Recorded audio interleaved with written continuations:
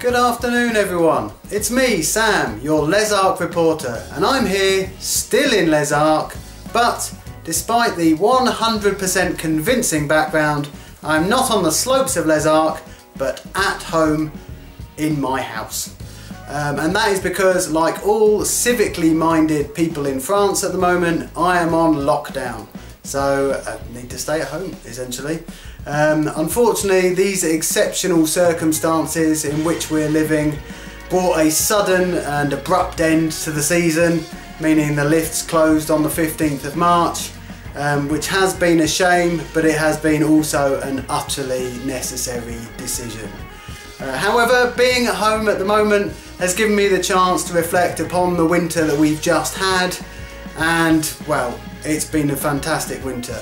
By December we'd already had about a month's worth of snow with snow falling from the middle of November which gave us an absolutely bumper uh, Christmas period and New Year's. That was wonderful. January was a bit weird because January normally very very cold arctic conditions whereas actually this year lots of sun and although it was cold enough the snow didn't melt um, it still wasn't freezing freezing cold temperatures. So absolutely perfect for skiing and snowboarding. And because we had such a decent base layer at the time as well you could go absolutely everywhere. All the lifts were open. In February the snow came back. Uh, lots of powder days in February throughout the school holidays. Um, sometimes there was a bit of flat light out there, but genuinely, when there's snow coming down, you're not going to complain. And that set us up for an absolutely great March when the snow just kept coming. Unfortunately, as I say, that was brought to a, a an early end, um, but that's as it is at the moment, unfortunately.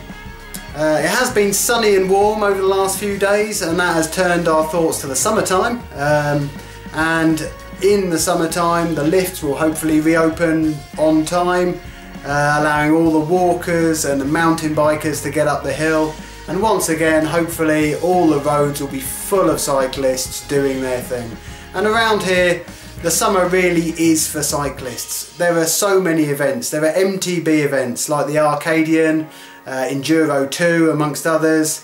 They're up on the mountain. And then on the roads you've got things like the Tour de l'Avenir which is for young riders, young internationally renowned riders. Was won by Egan Bernal once. Um, and the Tour de France once again is coming through Bourg Saint-Maurice. So I absolutely cannot wait for that. Um, before the lockdown, I'd actually signed up for the Tour de Tarentaise, which is a, a local ride, um, four day tour, uh, very cheap actually, and um, yeah, it's open invitation, so anybody can sign up for it. So I'd already started training for that, obviously can't at the moment, but that's fine. And that's the thing, you know, being locked down or in the house really makes you look forward to things happening in the future. Anyway, this is just a little goodbye from me to say that's the end of the winter um, it has been a genuine pleasure bringing you all the news from the snowy slopes of Les Arcs and I hope to see you again next season if I don't see you beforehand. I'll see you soon. Cheerio. Cheerio. Cheerio. Cheerio. Cheerio. Cheerio. Cheerio. Cheerio. Cheerio.